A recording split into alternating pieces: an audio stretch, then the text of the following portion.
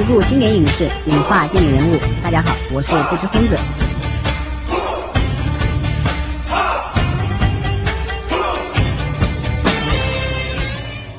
提起近几年的喜剧电影，观众势必想到开心麻花出品的《夏洛特烦恼》，以及当下大热的《西红柿首富》。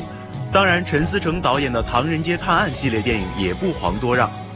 这些作品中，除了主角外，其中的一些经典配角搞笑功力深厚，表现也十分亮眼。比如《夏洛特烦恼》中的艾伦和长远，《唐探》系列的小沈阳和肖央。而今天要为大家推荐的电影《情圣》，便是由肖央、小沈阳、长远等主演。肖央饰演的肖汉乃是公司的经理，他事业有成，家庭幸福。除了上班之外，业余活动就是和大学的三位室友谈心聚会。平淡的日子没有任何一点波澜。直到一天，肖汉在地下停车场遇见美女模特悠悠，悠悠的裙子不小心被蒸汽掀起，没有发现肖汉的悠悠调皮的玩了起来。在看到镜子时，更是对着镜子各种摆 pose。殊不知这块镜子是双面镜，导致肖汉误以为悠悠在撩拨自己，一时间弄得肖汉心跳加速，激情重燃。回到办公室后，肖汉发现悠悠就在自己对面的马总办公室里，肖汉便用办公电话约悠悠吃饭。这时工作人员推过来的衣架刚好挡住肖汉的视线，导致肖汉约到的是马总，但他并不知情。闫妮饰演的马总以为肖汉喜欢自己，于是满心欢喜的赴约。以为约到的是悠悠的肖汉，正准备赴约之时，肖汉的室友小沈阳饰演的刘磊被老婆发现出轨，刘磊老婆前来请求肖汉夫妻二人前去帮忙捉奸，导致肖汉无法脱身，让马总白等一天。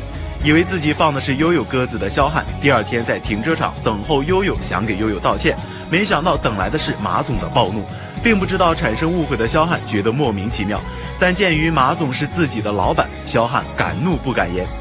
此后的肖汉越发想念悠悠，见到悠悠的广告牌都能想入非非。艾伦饰演的艾木在帮助肖汉约会悠悠的过程中，对马总一见钟情，所以经常偷偷的送马总盆栽以及信件。可各种机缘巧合下，却让马总更加误以为他是在替肖汉表白。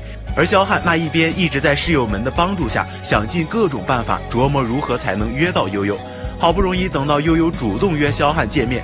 高兴坏了的肖汉提前来到见面的房间，却在常见的神助攻下被马总捷足先登。为了讨好上司马总，常见把悠悠拦回，让马总与肖汉约会。肖汉只好把马总灌醉，并叫来爱慕带走马总。与悠悠的约会又泡了汤。肖汉直言悠悠让自己找到生活的激情，让室友们务必帮自己约到悠悠。最终在情圣五剑客的共同努力下，肖汉与悠悠终于见面。可惜两人话才说了几句，悠悠的男友就在外敲门，肖汉只好从窗户跳出，躲在阳台，一直等到天亮。最后，肖汉还是没有抱得美人归，但这样的结局却不会让人感到有任何遗憾。影片通篇都在讲述的是肖汉一直想背着老婆偷腥的事，看起来三观不正。但从结局安排以及最后肖汉跳楼闪回床上的镜头来看，冰冷的阳台已经灭掉了肖汉想要出轨的激情。即使肖汉最终也只是在精神上达到出轨，但对于他的家庭来说，这已经不可原谅，所以他要在精神上跳楼一次，以此救赎。